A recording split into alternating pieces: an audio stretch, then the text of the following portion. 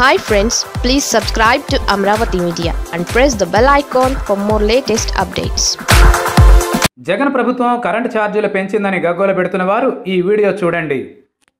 Media అంటే అంతే current ఛార్జీలపై రెగ్యులేటరీ కమిషన్ తన ఆర్డర్ వెలువరించగానే బాధుడు వడ్డింపు వాయింపు భారం వంటి పదాలతో వార్తల్ని కుమ్మి పారేశాయి నిజానికి ఐదు వందల యూనిట్ల వాడకం దాటితేనే యూనిట్కు తొంభై పైసల చొప్పున ఛార్జీలు పెరుగుతాయి. మొత్తం వినియోగదారుల్లో వాళ్ళ సంఖ్య ఒకటి ఒకటిన్నర శాతం కూడా ఉండదు. పైగా అది ధనిక కేటగిరీ.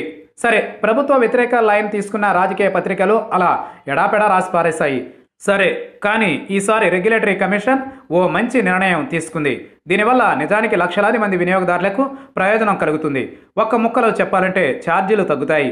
ఈ విషయాన్ని సాక్షి మీడియా కానీ జగన్ ఏరి కోరి పెట్టుకున్న బోలెడు మంది మీడియా సలహాదారులు కానీ ఎప్పుడూ సోది ప్రకటనలో జారీ చేసే కరెంటు సంస్థల మీడియా విభాగాలు కానీ పట్టించుకోలేదు. అసలు వాటికి కొత్త టారిఫ్ ఆర్డర్ అర్థమే కాలేదు. కరెంటు మంత్రి ఎవరో ఏపీ ప్రజలకు గుర్తులేదు. ఆయనకు తను కరెంటు పోర్ట్ఫోలియో చూస్తున్నాననే సంగతి గుర్తున్నట్లు లేదు. పాపం జగన్. వడ్డింపు వాయింపు అన్నీ ఫస్ట్ పేజీలో వార్తల్ని కుమ్మేసిన ఈనాడే ఈ ఛార్జీల తగ్గింపు వార్తను రాయడం ఒక విశేషం. విషయం ఏంటంటే ప్రతి నెల ఎంత కరెంటు వాడితే అంతకే ఛార్జీలు కట్టేలా ఈసారి టారిఫ్ ఆర్డర్ ఉంది. ఇప్పటి వరకు ఏంటంటే గత ఏడాది కరెంటు వాడకాన్ని బట్టి అదే కేటగిరీలో ఏడాది మొత్తం కరెంటు బిల్లులు కట్టాల్సి ఉండేది. ఈజీగా అర్థమయ్యేందుకు ఓ ఉదాహరణ చెప్పుకుందాం.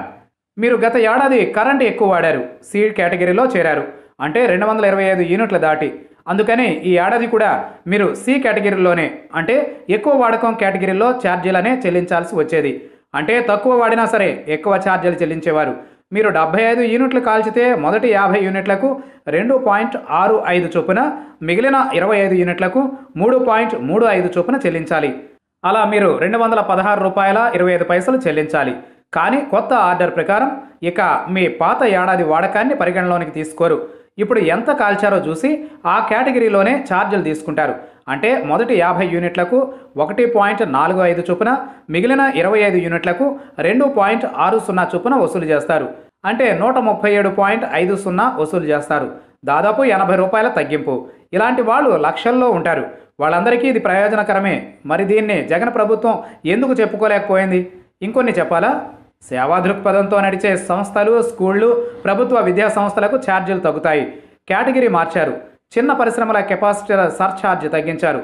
రైల్వే ట్రాన్సాక్షన్ ఛార్జీలు తగ్గించారు. కరెంటు వాహనాల ఛార్జింగ్ రేట్లను పెంచలేదు. ఐదు వందల యూనిట్లు దాటే వినియోగదారులు స్మార్ట్ మీటర్లు పెట్టుకుంటే ఉదయం పది గంటల నుంచి పన్నెండు గంటల వరకు ఆఫ్ పీక్ కరెంటు వాడుకుంటే రూపాయి రాయితీ లభిస్తుంది. మొత్తం ఆర్డర్ చూస్తే ఇలాంటివి బోలెడు ఉన్నాయి. అదేవిధంగా జగన్ ప్రభుత్వం తన పాత ధోరణితో సౌర విద్యుత్ నుంచి కరెంటు కొనబోం అంటే కుదరదని కూడా కమిషన్ స్పష్టం చేసింది. అన్నింటికీ మించి గతంలో కుదిరిన ప్రతి కరెంటు కొనుగోలు ఒప్పందాన్ని గౌరవించి ఆ కరెంటు కొనాల్సిందే అని ఆదేశించింది.